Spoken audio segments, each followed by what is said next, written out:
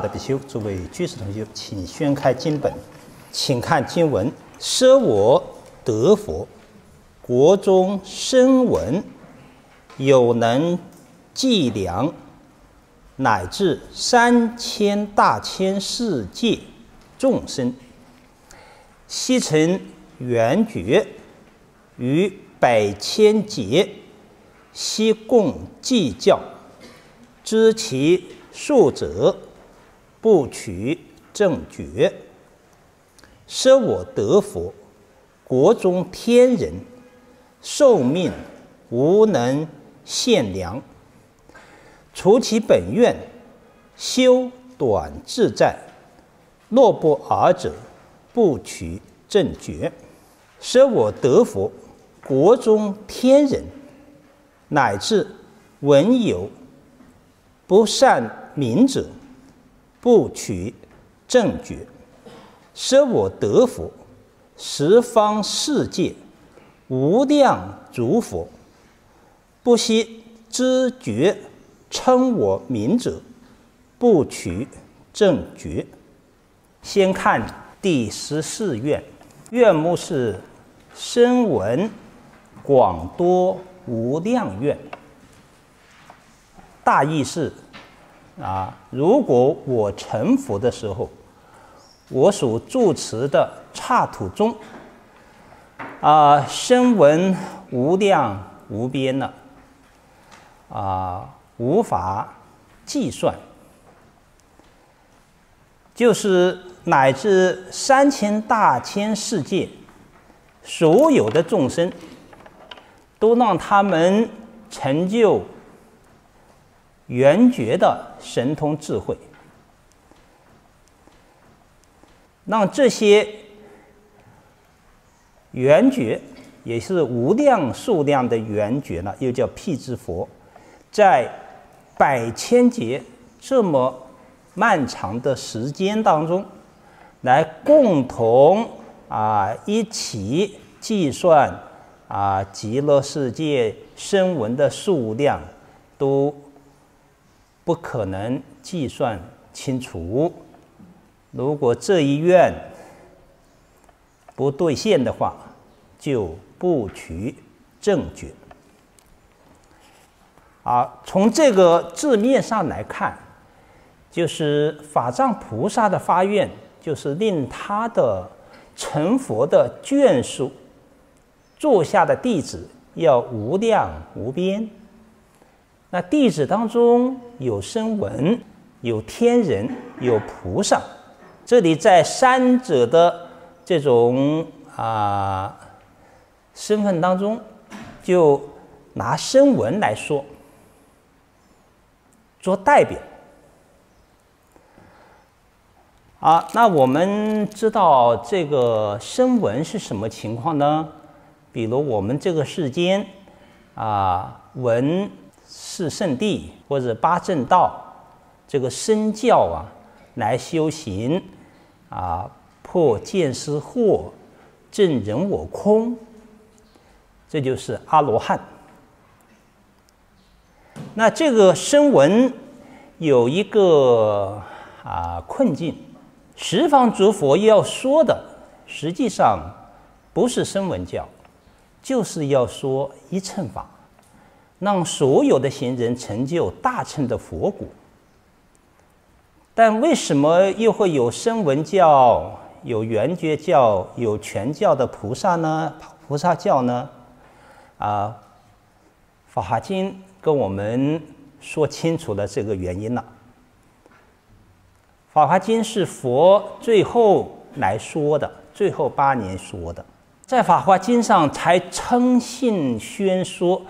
会三乘于一乘，舍利佛、摩诃迦叶、大目犍连这些声闻弟子，在这个法华会上，终于回小乘向大乘了。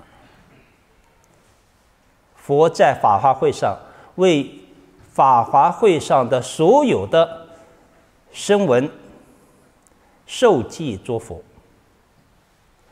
才跟我们。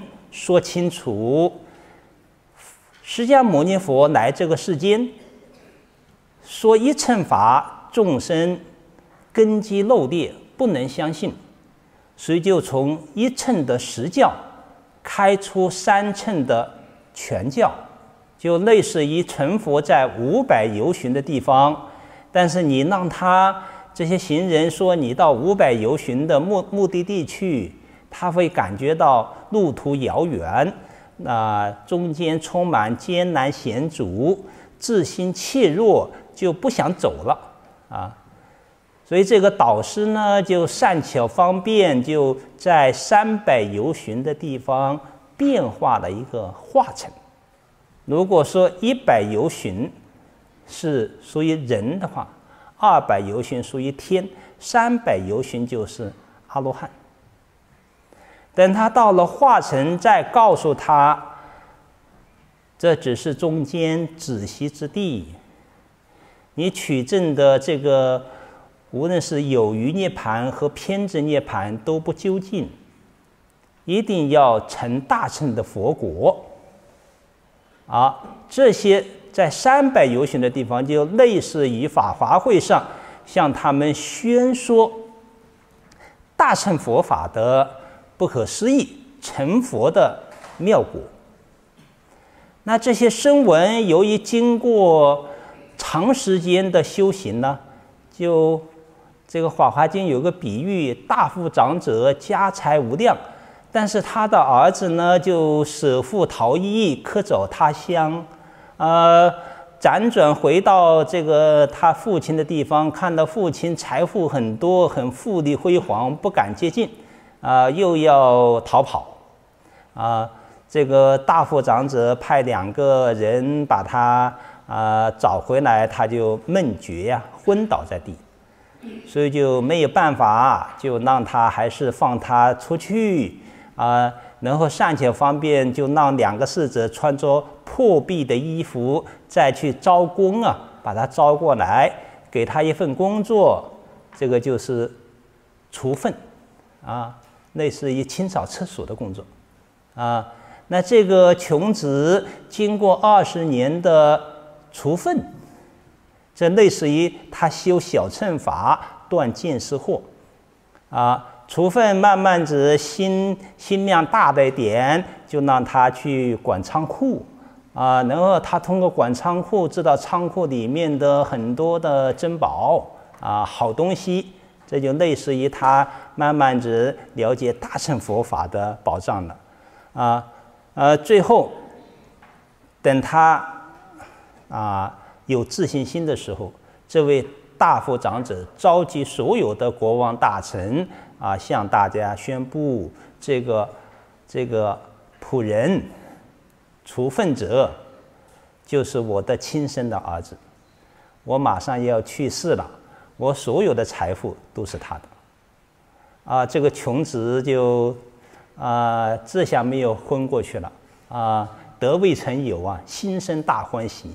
啊，就是从来没想到他有这么多的家财，类似于就从来没有知道自己的自信具有如来藏性，啊，所以释迦牟尼佛一代的实教都在循循善诱这些声闻要回小向大，成就佛果。啊，正因为是从实教开出的全教。那这个方便，也就是实教的组成部分，所以修二乘行啊，也就是大乘菩萨行。所以这个为什么法藏菩萨要在这里谈出声闻，就是他方世界众生根基漏劣，他都愿意走声闻乘的道路，对大乘的摩诃言境界太大。他很难承担啊。那这些声闻有两种，一种是定性声闻呐。这个定性声闻就是他呃破见思惑证人我空，他就觉得他到家了啊，取证涅盘了啊。一取证涅盘，他就呃觉得呃什么都劝不动他了，这叫顿阿罗汉。这种人就在佛教大乘佛法来看，成为焦牙败种了，永远不能成佛了。啊，这就类似于法华会上，当佛要开始说《法华经》的时候，啊，五千个比丘、比丘尼、优婆塞、优婆夷，啊，出来顶礼就离席而去，啊，佛就说这些都是真上慢人，因为，呃，当佛在殷勤赞叹啊菩萨法的时候，这些人他就会心里讲。赞叹这些干嘛呀？我已经到家了，我不需要听了。他就顶你，啊，撤走，啊，所以这些声闻是啊，这些最需要救度的，啊，那需要救度呢？那怎么救度他？你看这里这个法藏菩萨悲心很切呀，因为声闻是比较难度的。他是真上慢，得少为足，对净土啊饶益众生不生一念好要之心。啊，呃，得少为足就止步不前，而且认为自己还呃是上座长老啊，不需要再学了，已经是正的无学位了，啊，所以法华会上为什么以舍利佛为代表的声闻在自责呀？为什么在同一法会上会讲大乘菩萨法，而我等这些声闻怎么就就没听都没有听到啊？啊，甚至在维摩诘的这个法会上，当维摩诘大师显现菩萨不可思议的解脱境界的时候，那这个摩诃迦叶都一看都觉得这个闻所未闻、见所未见呢，他就觉得自己一辈子。都没有闻到大乘佛法，这种这种悲痛啊，啊，那是深圳三千大千世界呀，啊，所以这些声闻需要去救度他。那在净土法门呢，就是你修修声闻教的小乘行人，你一辈子修这个，但是你只要发愿往生，都能往生。但由于你原来生前所修习的都是小乘的戒行，所以就顺着这样的因缘呢，到了西方极乐世界，阿弥陀佛就顺着他小乘的呃根性，来跟他说藏教和通教的三十七道品，啊，让他去断见思惑，哎，这样他就证到阿罗汉的位。所以这些声闻，包括四果声闻。啊，见识过全都断见是阿阿罗汉，还有些是出果、二果、三果的行人，所以这里的声闻要注意，它不是一个定性声闻了，它已经是回小向大了。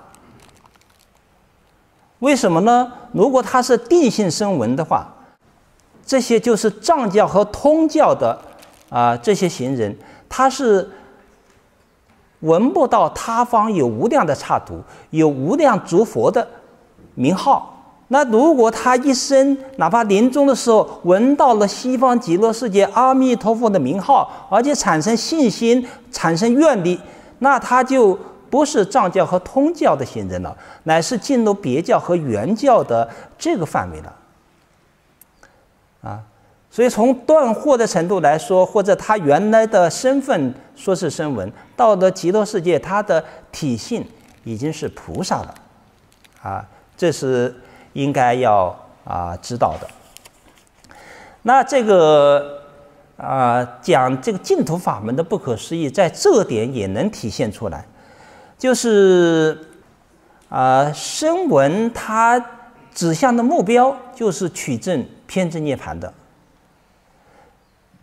从这个意义上来说，它是不可能再升起菩提心。求证佛国的心很难升起来的，所以法藏菩萨就发愿，以他本愿不可思议的神力，摄受这些声闻往生到西方极乐世界，往生到西方极乐世界，再以神妙之力使他发菩提心。谭暖大师在讨论这个问题，也是赞叹呢。就是二乘总不生了啊，啊就好像在一个池塘的水，那个神鸟啊，神鸟就是有毒的鸟，进入到这个水里面，这水中的水族，像鱼呀、虾呀啊，这些都会死亡。但是，往往是有毒的地方就有解毒的东西啊，这个世间都是平衡的。啊，解毒的就是犀牛角，而，犀牛角呃接触这个水呢，就能解水水里面的神神鸟之毒。神鸟就是那个羽毛都是有毒的，啊，那犀牛入水，这些死去的啊水族众生都活过来了。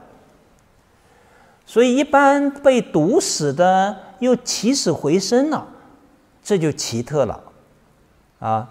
这个阿弥陀佛摄受这些声闻到极乐世界，让他重新升起啊成佛的菩提心，这就属于不可思议的威神力量。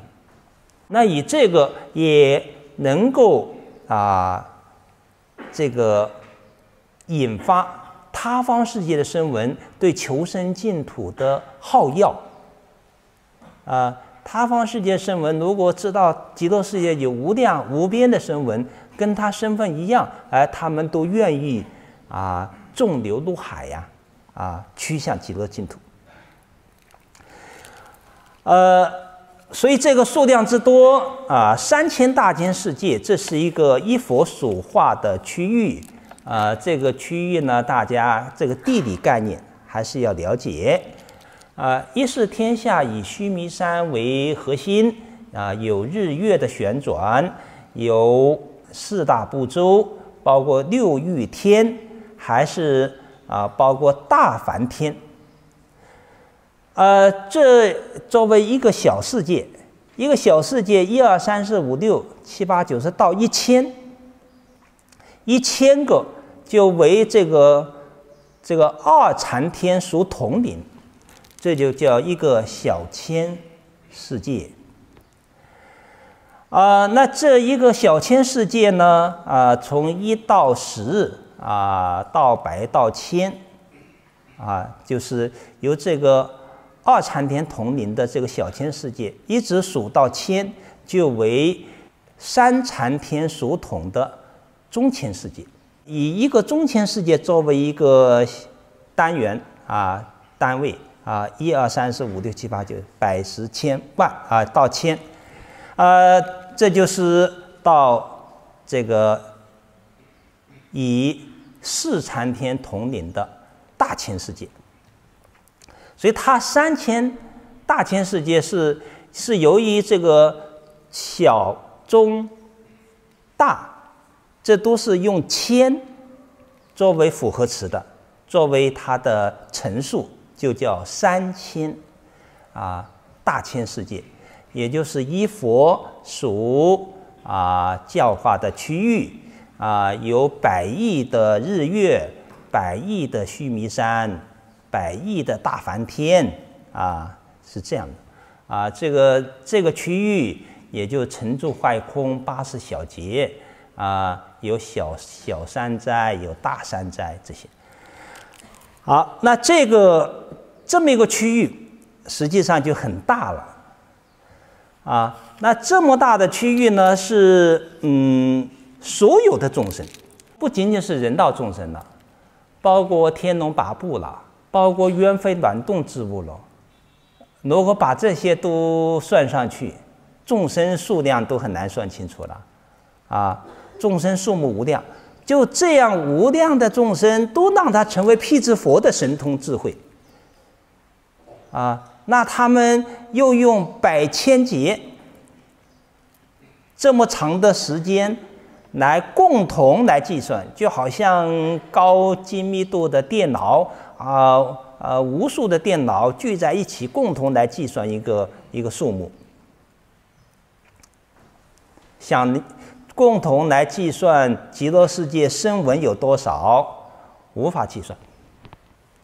啊，后面讲无法计算，啊，后面有一个比喻，就好像一个浩瀚的大海，你用一根毫毛啊，拔出一根毫毛，这个毫毛又分成一百份，你一百分之一的毫毛蒸蒸海水一滴，这一滴水跟大海相比啊，能成比例吗？啊，大海水很多，一滴水少。那能算清楚的就是一滴水，算不清楚的数数量就是大海水。初会的声闻就有这么多，还有第二会、第三会呢？成佛以的一句十劫啊，啊，那这个往生者不仅是声闻，而且还有天人，啊，数量亦复如是，还有菩萨亦复如是。所以讲极乐世界它的啊面积之广袤啊啊。这个广大如虚空啊，啊，究竟无边际呀，啊，所以它这个极乐世界的差度是无穷大的法性土，能能够容纳无量无边的往生者，啊，所以极乐世界就是主办圆融，啊，阿弥陀佛是佛中之王，啊，往生者那数量。啊，极多，呃，眷属的庄严啊。第十五愿是寿命修短，随意愿。意思就是说，如果我成佛的时候，我住持刹土的国中天人，寿命跟阿弥陀佛寿命一样，无量无边阿僧祇说。啊，但是他的在极乐世界寿命是长还是短，可以啊有选择的啊自由。呃，你想在极乐世界长期待，就寿命长；想在极乐世界啊待一会，马上要到他方世界去度众生啊，寿命就可以短。那这个是寿命长还是寿命短，是随往生者的发愿来决定。如果这一愿不能兑现的话，就不取证据。前面是讨论啊第十二愿的时候，讨论阿弥陀佛施法身愿，他的寿命无量无边。啊，这一愿是在告诉我们，阿弥陀佛以他的。果地上的无边的寿量，来加持往生者，也令往生者也寿命无量。这是阿弥陀佛因地考察他方世界啊，自然升起的一种悲愿。而他方世界众生的寿命长短，跟他的业力相关，寿命长也是他的福报。寿命短也是他的业力，啊，但往往是他方世界众生寿命都比较短。那寿命短呢，这就修行呢就很难有结果，啊，刚刚才有点啊摸到点门道啊，修行有点感觉，马上寿命到了，寿命一到，你隔胎自婚了，呃，转过头来又忘了，又从零开始。呃，这样就啊很难啊成就佛道，所以这个法藏菩萨发愿，等我成佛的时候，我的寿命无量，也要令往生者寿命无量。啊，这是悲心了。啊，这个悲心里面还更更细微的啊，虽能寿命无量，但还要。站在往生者的立场，啊，往生者呢，有的愿意在极乐世界寿命无量，有的还不愿意在那里无量。啊，如果他不愿意在那里寿命无量，你非得要让他在那寿命无量，这也是一种啊不自由哦，啊一种逼逼迫呀，被动哦，那就是说被长寿，被被寿命无量，他总不舒服啊，于是。初级本愿修短自在，你想在那里寿命长就寿命长，你想到那寿命短，想到他方世界去，随你愿。啊，这样我们就觉得很自在了。呃，很自在就是说，这是佛在无量智慧当中有一个智慧叫延出智，能够使寿命延长，也可以使寿命短促。然后就使这个延出智也加持给往生者，所以我们想长一点、短一点，随意。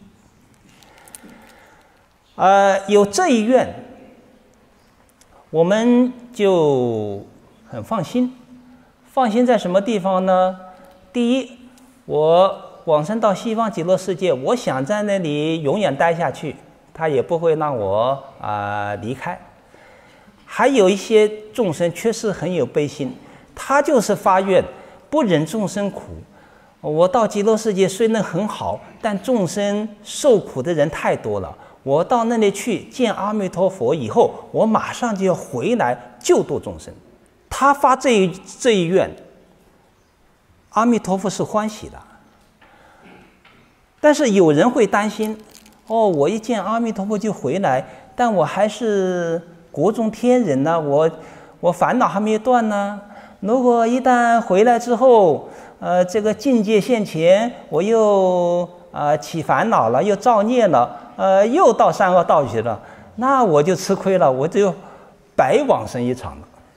他有这种呃担忧，那这里我们通过第一愿、第二愿，我们知道阿弥陀佛对这种担忧，实际上他都是考虑的很周全。你只要到西方极乐世界见佛之后，阿弥陀佛叫法王善住持啊，啊，就是类似于你这颗种子，阿弥陀佛用愿力，类似于不朽的药。涂在你这个种子上，这个种子就不会放在水里不会烂坏，放在火里不会烧掉。也就是说，你只要见佛了，到极乐世界，你到他方世界去，你还能回来，你不会堕落。这是阿弥陀佛愿力的保保证。啊，当我们接到这样保证，我们就觉得啊，那就比较放心。那去了，反正阿弥陀佛保证我能回来，啊，不至于一去就泥牛落海无消息了，是吧？这一愿其实传达了很啊很多秘密的信息呀。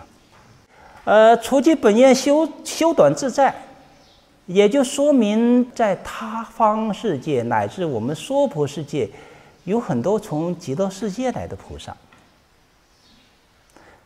他在因地。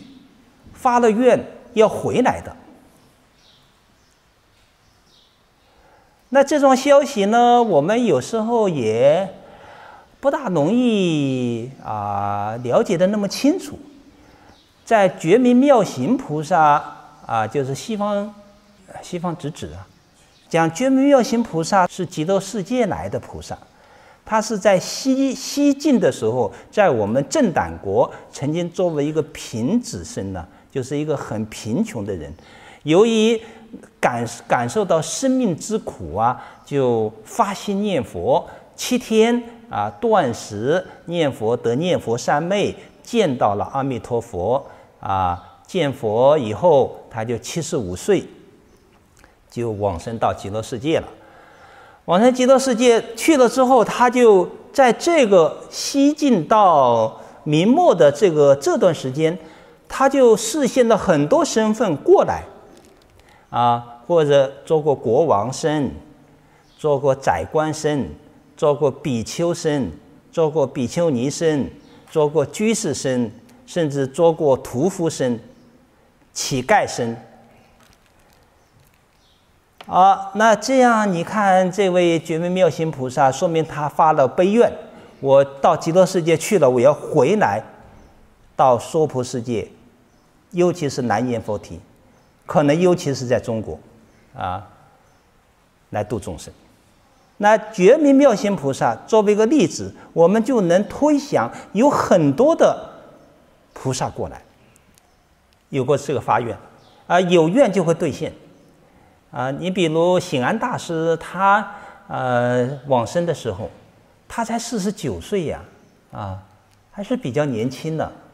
呃，他往生，因为他正念佛三昧啊，啊，他他也走，大家都在啊提醒他注释啊，不要那么早往生啊。那醒安大师那个回答很有意思呢，他说：“我勿去即来，我去了马上就回来，啊，生死事大，各自静心念佛可依。不仅是他自己的发愿了，乃是对很多人的承诺了。我到极乐世界去了，马上回来。那不知道醒安大师回来又是什么身份，我们就搞不清楚了。”那从这个净土圣贤录，啊，这圣贤录有时候初初看也看不出什么道道，但你细心看这些往生者，有些那么自在的人，呃，我们可以做一个推断，也许不少就是从极乐世界来的，啊，呃，百州有一个敬爱法师。他这种逍遥自在啊，他这种自在往生呢，他在百州武帝年间，周武帝灭佛啊，他为了护法，跟周武帝都有啊当面的辩论呢啊，但最终周武帝还是灭佛了，他就带了一批人到终南山去隐居啊，以后也到了太乙山，在那里一边修行一边住宿。住宿呢，就住宿的都藏在山洞里里面了。有一天，他对对侍者说呀：“说我住世无益呀，我当舍身。”他怎么舍身？他就跑到那个山上的一颗山崖，呃，石头大石头上，用刀片片的把自己的肉啊，全都割下来铺在石头上。然后自己的肠子什么的就挂在松树上，啊，这个全身全都包括筋骨什么，全都就是剩了一个骨架子了，啊，骨架子最后就用刀就把心啊挖出来，双手捧着心，面向西方极乐世界，面向西方，结跏趺坐，就那么走的，没有血，都是白骨。你说，如果是凡夫，他能够这么自在的把肉都能够割下来，没有证无生法忍的菩萨，哪有这个水水平呢？而且不是不是红的血呀，是是白卤啊！啊，你看他这个呃留下的一个寄送，啊，这个寄送其实看读一读都很受教育，他就通过这么一个舍身。来告诉我们，这个身体要厌离，身体很苦，身体是种种大患，身体有种种的不清净，污秽自己。对于我们这些身见很强的众生来说，真是当头一棒了。我们真的拖着这个沉重的身体呀，是很苦啊。啊，稍有不慎就就生个病了。生个病你就觉得很难受啊，而且这个四大的毒蛇，你再怎么伺伺候它，啊，它都会咬你一口，让让你受不了啊。啊，一层皮爬下来，里面都是很不干净的，啊，里面又充满着种种的欲望啊，啊，让我们一辈子不得自在，为这个欲望做奴隶呀。你说这个身体是很可恶的，啊。哎，他要通过这样的一个舍身啊，要众生啊，这个破除身见呢，啊，然后他这个啊发愿也是发愿再回来的啊，早令身自在，他发愿就是去西方极乐世界，到西方极乐世界得到法身自在啊，然后这个在啊这个。有利益众生的地方，护法救众生，啊，要到他方世界护法救众生，啊，所以你看这个啊，这位敬爱法师不是念力过来的，愿力过来的。那我们从啊一些往生者里面看到些什么情况呢？有的人念佛呢，呃。呃念成就呢，就就想早点走啊。你比如这个宋代的盈科，呃，宋代的盈科呢，他是呃不守戒律，啊，喝酒吃肉什么都都敢干，但是他还有有点自省的能力，觉得这么下去可能要下三个道。啊，所以他就看《往生传》，啊，看《往生传》呢，他就啊产生了点信心，啊，产生信心呢，他就开始念佛。他念佛也是绝食念佛了，啊，呃，念了三天，这个感到阿弥陀佛现前，阿弥陀佛告诉他：“你还有十年的寿命，啊，你这个努力修行吧。”这个盈科就回答啊，这个世界太作恶了，我烦恼很重，容易失去正念啊，还是希望早生啊安养啊，来啊啊尘世供啊供奉佛陀。那阿弥陀佛恒生众生说：“你既能这个样子，那就三天后来接你。”啊，那果然三天后。阿弥陀佛接引，即然而化。这就说这个修短自在的问题呀。阿弥陀佛愿力还能够使他的愿力加持到我们这个世界呢来。你想呃提前点走，他也加持。但是并不见得你什么情况下想走都想走了。呃，阿弥陀佛也要看情况了。说唐代有个智觉法师，这位法师很了不起啊，就不是像严严苛比丘一样的不修行了，他是精进修道，很有智慧，通达经论，啊，并且啊，这个见世安身，造佛像，做很多的啊弘法利身的事情，造了一尊四十九公尺的呃观音像之后。就发愿，啊，希望啊成这样的功德，愿早生安养，想早一点往生极乐世界，感得阿弥陀佛现前给他摩顶，并没有啊答应他现在走，说你守愿啊勿异，你守住你往生净土愿，不要改变啊。利物为先，你看，利益众生要摆在首位。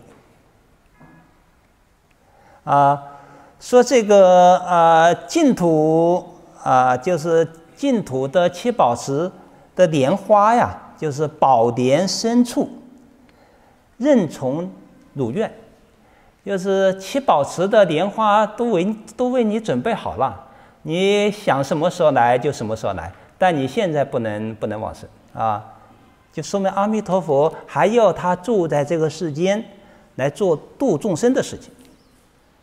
为什么呢？他有能力。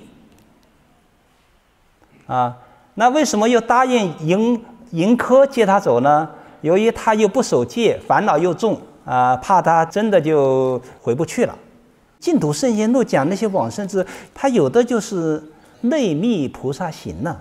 你看那个。宋代有位楚谦法师，呃，这个人也是很有道德、很有智慧啊。十座道场，就是有过十次啊做大丛林的方丈和尚啊，长达住持啊道场四十年，而且都是讲经不断啊，度化人很多啊，甚至皇帝都对他崇敬了。赐号神物，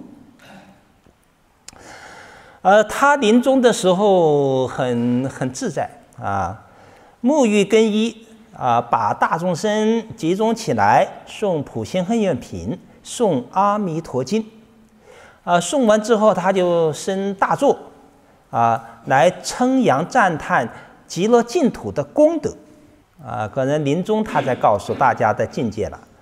说我得无生日用九一，今以无生而生净土。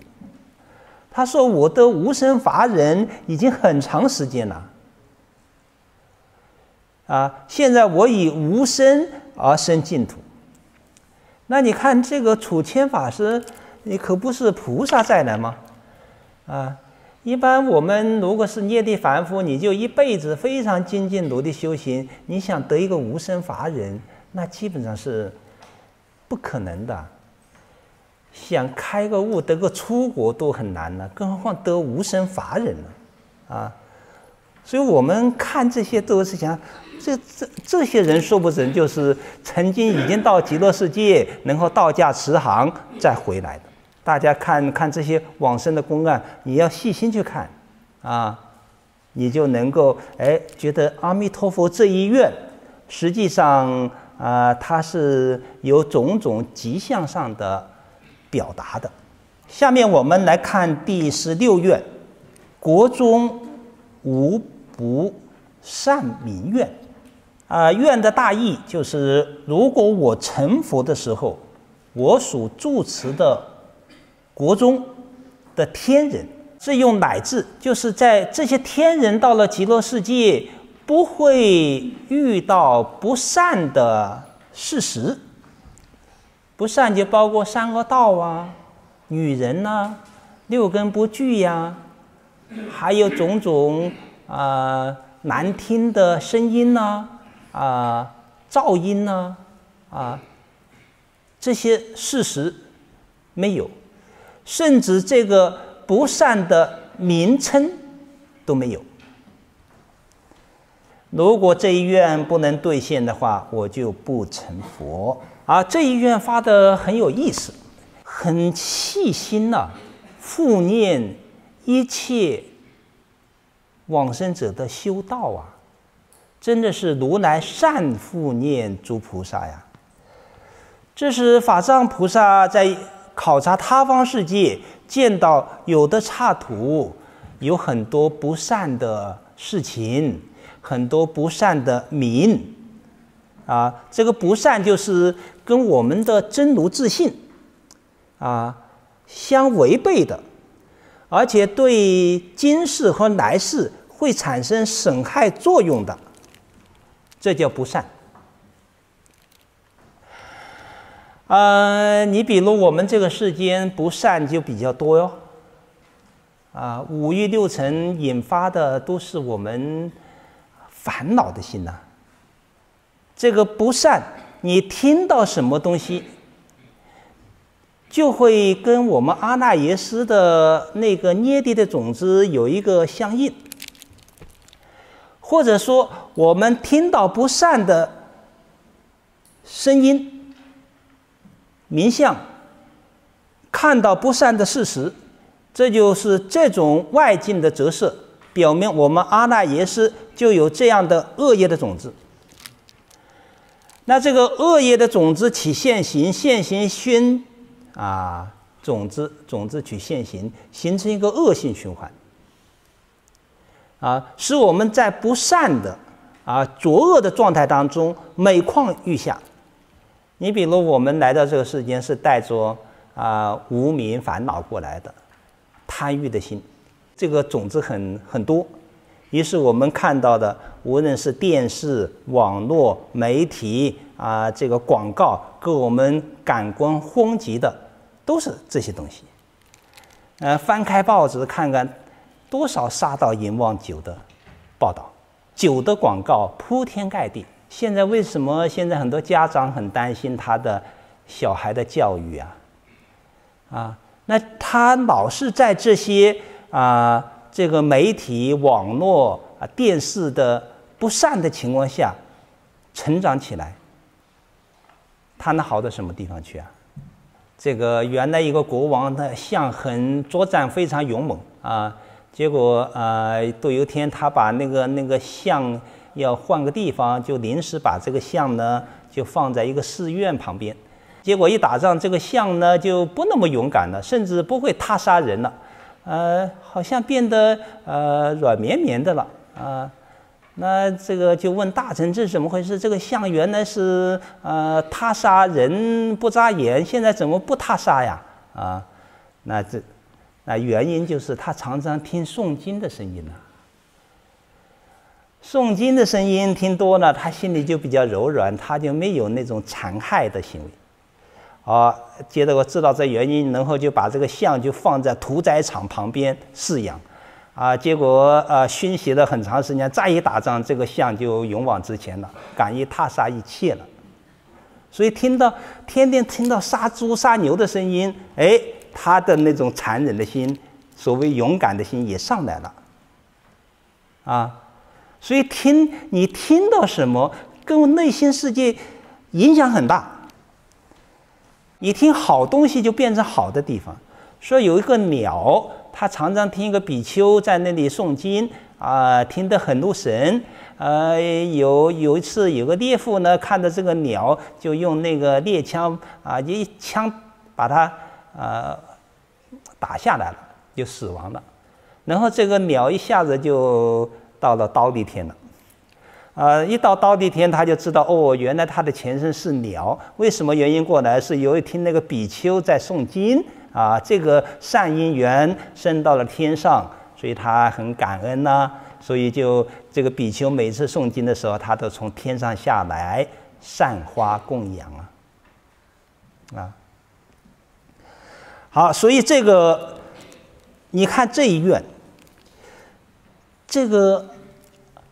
极乐世界没有不善的名，就复念往生者的清净心。天天菩萨那个句子啊，就是大乘善根界，二乘总不生。女人及根雀，就是女人包括残居的人，六根不具的人，西方极乐世界都不会升起来。那你看极乐世界没有女人，甚至没有女人的名称。你想想，这个这个感感觉就很亲近了，啊，你就是说没有那个事实，没有女人事实，但天天都有女人的声音在那里听着，那也比较麻烦的，啊，三恶道的事实没有，连三恶道的名称都没有，清净之智。那有人就问了，哎，《阿弥陀经》不是说有这个极乐世界很多鸟吗？啊，白鹤、孔雀、鹦鹉、嘉陵平茄、共鸣之鸟，那这些鸟可不是畜生道吗？不是三恶道吗？那为什么说这个名称都没有呢？啊，所以《阿弥陀经》对这个还特意啊说明，这些鸟啊不是罪报属生呐，乃是阿弥陀佛约定法音宣流变化所作。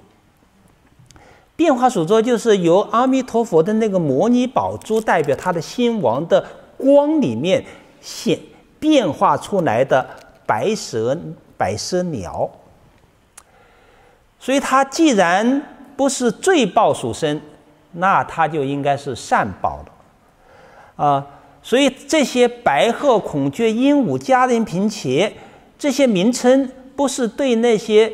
有啊恶道体性的鸟的表达，乃是全显如来的究竟功德，啊，是属于性德美称了。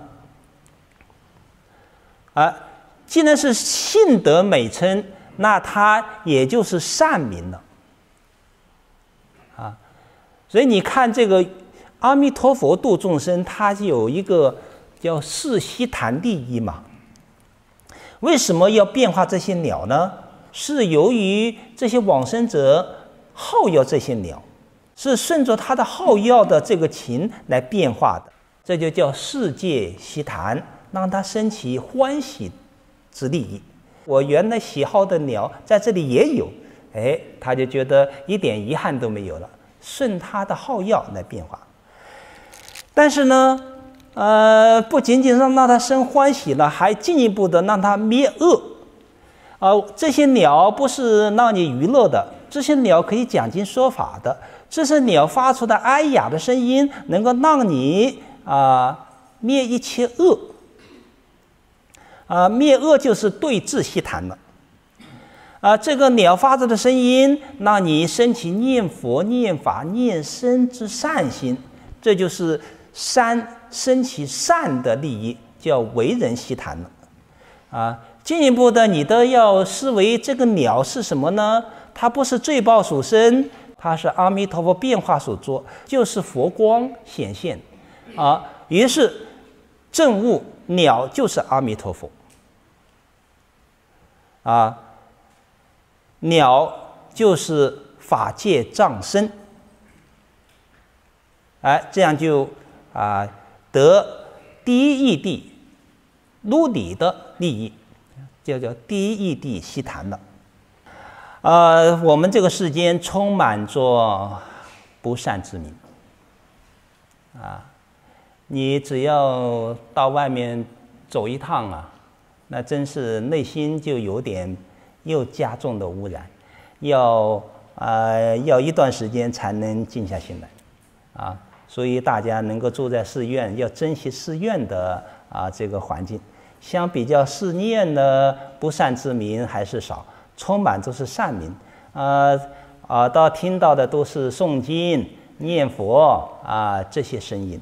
啊，早上起来还能还能听到小鸟的呢喃声呢。啊，呃，你在城里都听不到鸟的叫声了。啊，到处都是汽车的叫声。还有一些噪音，所以这个听闻到什么声音呢？这跟一个人的福报业力直接相关呐。在极乐世界啊，他听到的都是啊这个清唱哀亮的自然快乐的音声呢，所以内心就充满着欢乐啊、欢喜呀、宁静呐、祥和呀啊，但这个。如果你到地狱里面去呢，那听到的声音就不一样了。这个《楞严经》讲那个地狱去呀，众生造十种恶习，他就同时在地狱里面，眼耳鼻舌身意能得到交付的啊报应。比如这个六报里面有个闻报，闻报就是指听什么声音的问题了，就是耳闻声所造的孽。就招引耳根以及其他的五根交受恶果，所以我们这个耳根，你不善于设耳根，喜欢听那些会淫会道的声音，实际上当下就在造恶业呀。啊，如果比如说呃喜欢听那些啊淫淫荡的声音。他造孽的话，这个耳耳闻属于水的范围啊，所以他临终的时候就先见到这种波涛翻滚呐，把这个天地都给淹没的状态。亡者的神识就顺着这个水呀，啊，水流很急，就落到无间地狱去了。到无间地狱，他的耳根就就会出现两种相。一个是开听，就是闻到动向，动向就是整种种的吵闹的声音，啊，非常喧闹，非常的噪音呢。你看这个噪音是很折磨人的，甚至精神会失常的。呃，再就是听不到这些声音，又是必听啊，极无所闻，极无所闻呢，也就很害怕。啊，这个极无所闻的，令他的这个忧迫呀，就沉默，他就觉得心没有依托的地方。所以这个耳根的闻报之髓，那显现在耳闻上，它就会出现被谴责的声音。啊，你生前做了什么亏心的事？这时候啊，都在谴责你，责问之声。如果体现在眼根上啊，就显现为啊雷呀、吼叫啊，还有这个这个东西在相互撞击的这种这个啊声音啊，就是非常恶毒的这种气象显现。如果这种闻闻报体现在你的鼻鼻子是嗅觉啊，那嗅觉呢，你就会觉得是啊。雨雾啊，好像这个周身都被毒虫所笼罩，就有很难闻的气息显现出来。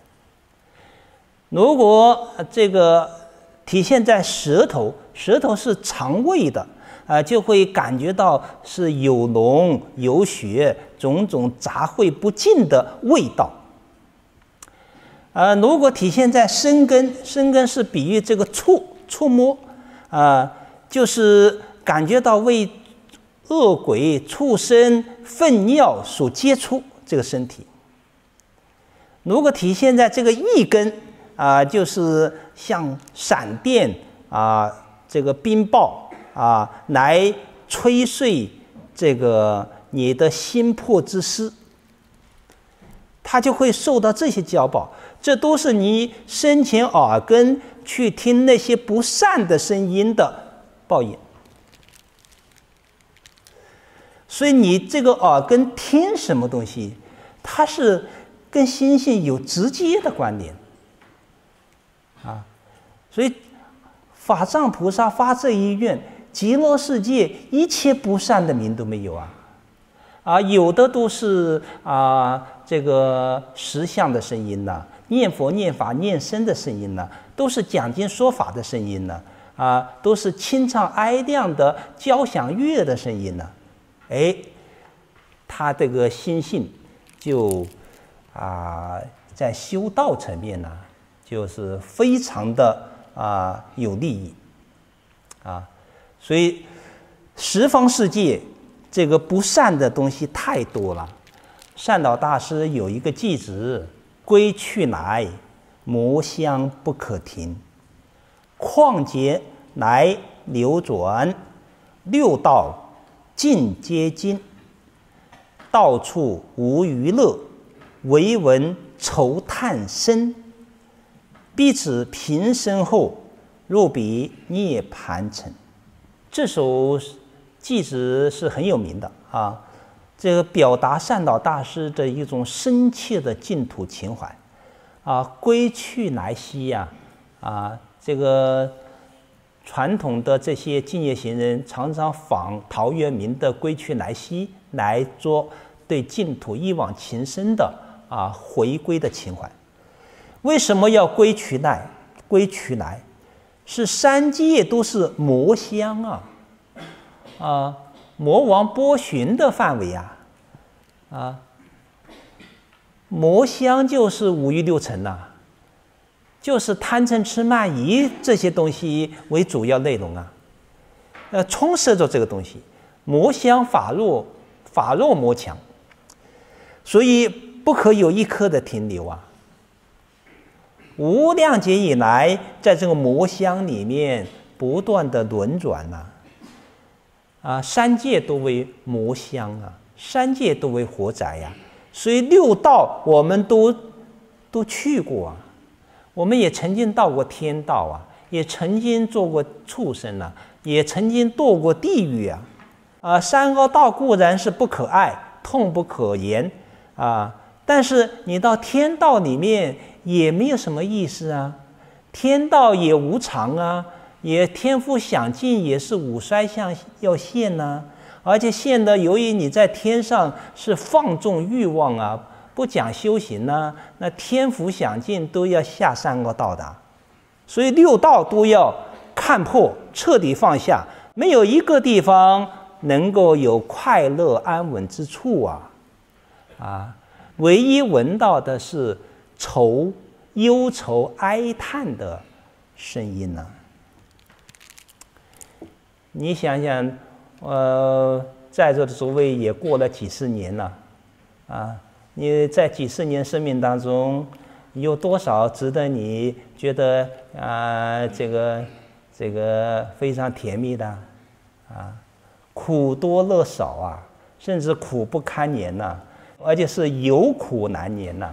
自己很苦，还要装作很快乐的样子，别人问你是不是幸福，还觉得幸福指数很高啊，自欺欺人呢啊。所以这些啊。真的是唯闻愁叹声，所以一定要发愿啊！必此平生后，若比涅涅盘城。极乐世界就是涅盘的常乐我净的展开。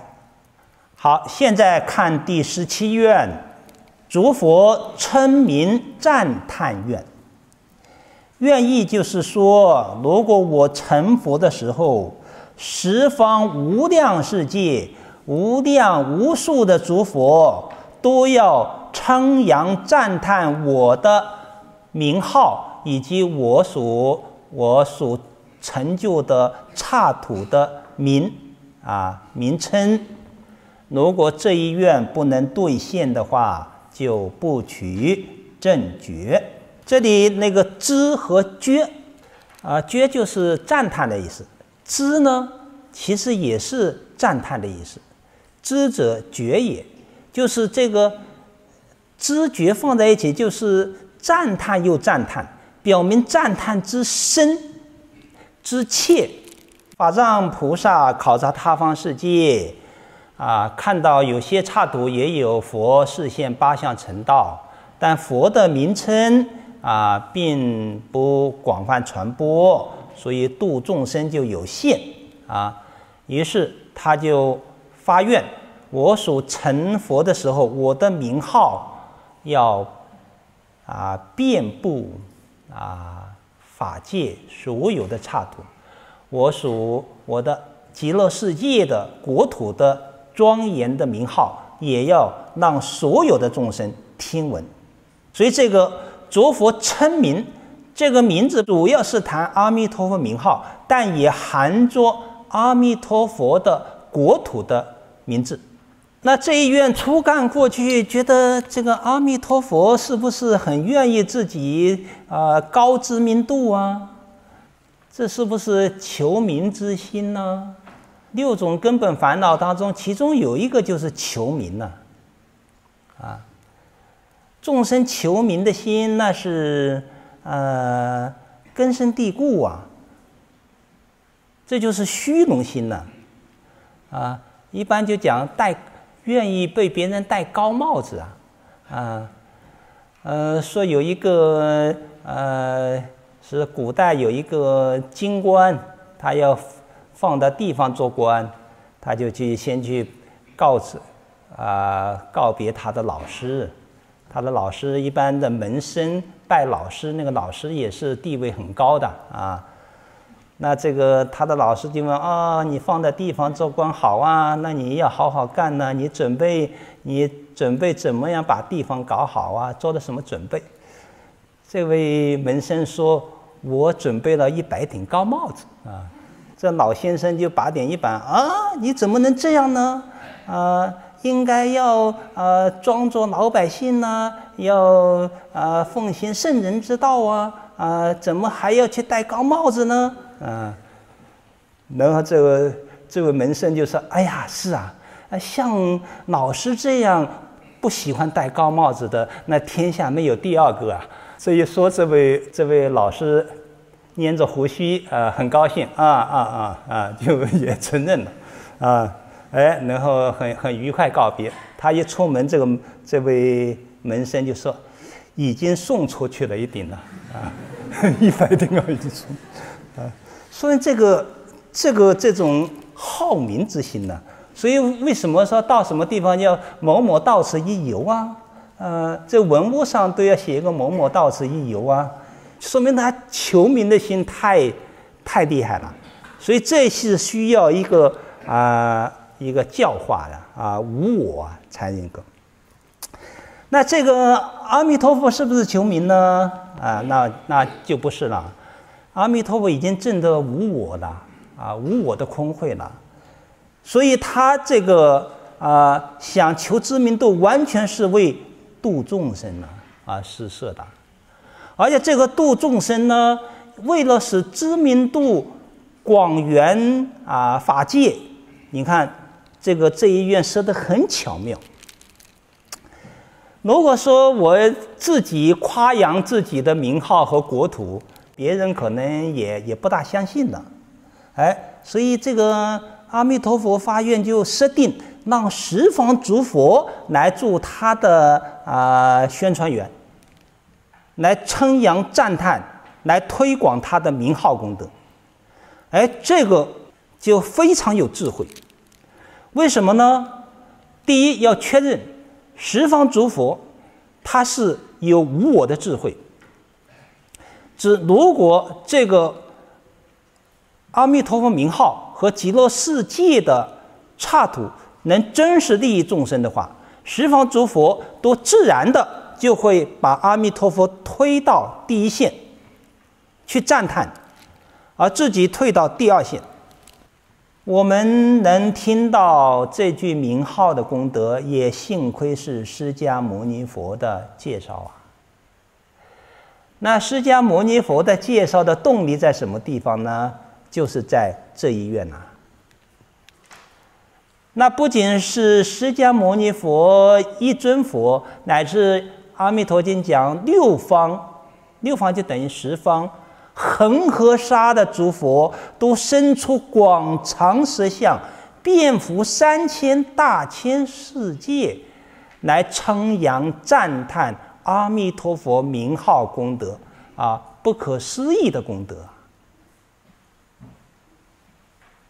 那这样，你看，每尊佛都在自己做出的插图，不是称扬赞叹自己的净土，乃是称扬赞叹阿弥陀佛的名号和净土。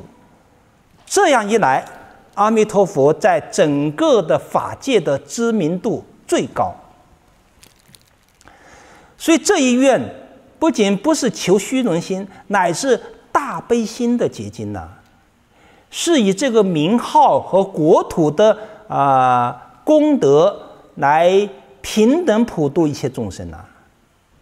所以这个这一愿一发出来，阿弥陀佛跟法界所有的众生就结上了深刻的净土的法缘了。而且这一愿发出来，一定要有实质内内容。你这个名号真的就是能度众生的。那这个名号，也是法藏菩萨在因地当中施设出度众生的唯一的就近的方法。我若成正觉，立名无量寿，众生闻此号，俱来我刹中。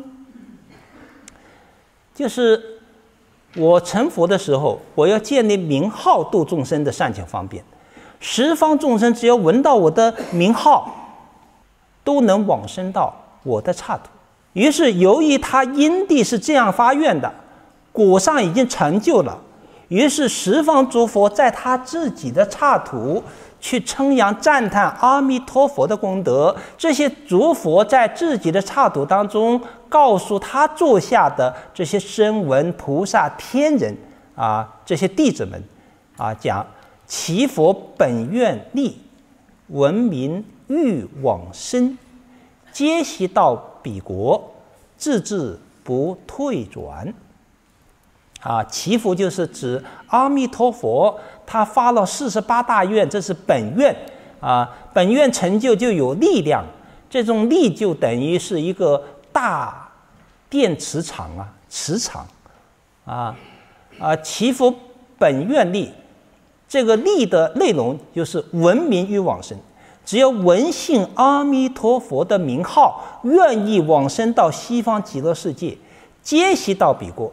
都能一个都不遗漏的往生到极乐净土，一去极乐净土，法尔自然的就得到阿毗跋致，不退转位。呃，那这样名号功德就大不可思议喽。正位大不可思议，非常的超绝呀，所以十方诸佛就愿意来赞叹阿弥陀佛不可思议的功德。它不可思议到什么，在什么地方呢？就是横超三界，大业往生啊！横超三界，不仅是横超三界的凡圣同居土，乃是横超啊三界的十宝庄严土啊，方便有余土，横超三界的山土。这个不需要，不是断惑，不不等。你把烦恼断尽才能去，一般到阿弥陀佛的净土，那属于十宝庄严土啊。你一个凡夫，烦恼没有断，那是没有资格去的。一般来说是发生大事啊，才有资格去的。那这里就很奇特了，就不可思议了。阿弥陀佛的愿就是要令一切没有断烦恼的业力凡夫都能去，而且一到西方极乐世界，你往生到凡凡圣同居的啊这个土，就等于往生到上山土，叫就叫恒具世土。既能恒具世土，与足上善人聚会一处，啊，能见声闻、见菩萨、见阿弥陀佛，就能够一生进入一生补处，不需要经过通途佛法讲的那种渐次修行的过程，啊，一定要从实信、实住、啊实实行、实回向、实地啊，那到西方极乐世界可以顿超。你只要持阿弥陀佛名号，不需要其他不假方便，不需要你去修禅观呐，啊参话头啊，啊做种种的啊福业啊，这些方面都不需要，只持这个名号，而且时间并不长，若一日若七日，乃至十年，啊持阿弥陀佛一个佛名。就等于持十方三世一切诸佛的佛名，就能得一切诸佛的护念啊！所以这些不可思议的功德，乃是啊古往今来西迁东土啊历代祖师不断的给我们啊传达，这都是阿弥陀佛的大愿大行所成就的。所以值得赞叹了，啊！所以我们在这个世间啊，只要闻到了阿弥陀佛的名号，不管他相信不相信，这个金刚种子就已经播下去了。播下去了，终有成佛之期。偶一大师也谈到这个问题，乃至。就是我我等众生乃至一闻佛号，就在同体同体的法性中，因为这句名号是无量光寿嘛，它为什么不可思议呢？是建立在众生本具的无量光寿的心性上，来施设这个名号，也就是心外无名号，名号之外无心性。这句阿弥陀佛的万德洪名，就是法性，就是实相，就是一切众生本具的无量光寿的性德。那这个名号就跟我们的这个性德就是同体了啊，在这个同体当中啊，就借助着这个万德洪名呐啊，它就有熏习力啊。一般讲修行谈熏习。那为什么你看这个极乐世界，阿弥陀佛要讲不善的名？如果是不善的名，他就这不善名就在熏习嘛，不善的名就用不善来熏习你的心嘛，那你的心也不善嘛。如果反转过来，你是一个真如熏无名，啊，就能把你的善的种子、敬业的种子给它引发出来。所以，借助名号的功德力的熏习，就能引发众生啊本具的了因佛心的智慧，啊，以及原因佛性的修持。就你这个名号，就能把智慧显发出来，就能把你精进修行的这种力量显发出来。那确实，名号当中就有智慧光芒，这智慧光已经成就的。般若智慧就把我们本具的智慧给它显引发出来。那阿弥陀佛一叫不断光嘛，不断光就把我们的精进修持的力量、精进波罗蜜的力量给它显现出来。啊，那这样就最终可以圆成本具的正因佛性。啊，正因佛性就是讲无量光寿。所以这个这一院的施舍非常有必要。如果没有这一院的施舍的话，我们这些众生是听不到阿弥陀佛名号的。而且这一院施舍还有一个什么特点呢？因为这净土法门太特别了，太不可思议了。这个净土法门的这种奥妙，唯佛与佛方能就近，叫做原受一切法门，原超一切法门，是佛的无问自说，是佛的果地上的境界。那这个法门，你说谁能流通呢？唯佛与佛才可以流通哦。你说。等觉菩萨已还，他都不了解，不能完全的相信和理解，他自己都信不及，你怎么让他去传扬这个名号呢？他就没有动力呀，或者他自己说的都模棱两可呀，啊，呃，人家在质疑一下，啊，你这个呃念这个名号就能往生西方极乐世界吗？啊，于是这些菩萨也在想：是啊，大概是不大可能呢，哪有那么容容易的事情呢？啊，他一怀疑，他肯定他表现出来的语调，呃呃，这个嘛，这个嘛，大概呃，好像经典也是这么说的，他就是，他就就用这个口气说了。那佛佛道同，佛知道净土法门的情况，所以他讲出的是决定说，啊。你决定是可以往生的，因为这是阿弥陀佛的愿力啊，其佛本愿力啊，文明欲往生呢，皆悉到彼国，自之不退转。十方诸佛就敢说的这么肯定呢，所以这个法门为佛与佛方能流通，所以阿弥陀佛设定就让十方无量诸佛来流通我的法门，来流通我的名号。你看这个，真是找对了人了。如果不找佛来做宣传员的话，那很麻烦。那就等于一个企业，呃，生产了一个很精良的呃产品，但怎么推销啊？啊，如果大家都不知道这个产品的性能和和和名称，啊，也没有人去推销，或者推销人自己也说不清楚，那这个产品再精良，它也啊。很难投放市场，啊，当然这是用现在的市场观念来说了啊。那呃，实际上阿弥陀佛可能呃隔行不隔里呀。阿弥陀佛建立这么好的极乐世界的无尽的庄严啊，这么一个具有巨大的拯救力量的名号，怎么让众生知道？怎么让众生相信？怎么让众生依教奉行？他一定要找对人去推广。那真的啊，这个十方诸佛都伸出广长舌相啊，那不是一般的啊推广啊。我们舌头短，为什么短呢？因为常常说假话嘛，是吧？呃，所以说内向，你的舌头能够舔到舌尖、鼻尖呢，啊，说明你三世没有说过一句假话，你你有这样的一个相。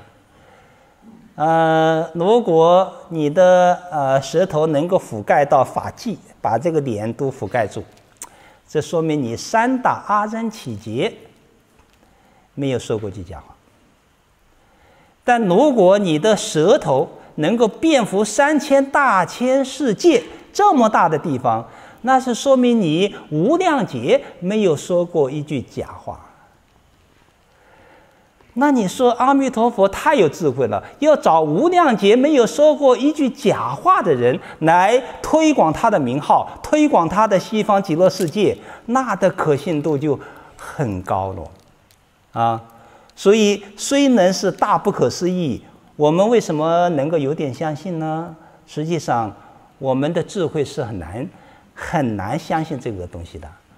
但是我们为什么相信呢？第一是叙事的善根。啊，曾经啊，成为有持戒啊，奉奉承啊，诸佛的善根，有点相信，但更重要相信是由于这个法门是释迦牟尼佛说的，啊，释迦牟尼佛不会讲假话，啊，他老人家殷勤劝我等众生到西方极乐世界去，叫做一一遣一送嘛，啊，释迦牟尼佛如背负来到秽土来发遣我们到极乐世界去，啊，阿弥陀佛如慈母来接引我们到西方极乐世界去，所以我们是相信的释迦牟尼佛不会骗我们，他是不妄语不妄语者。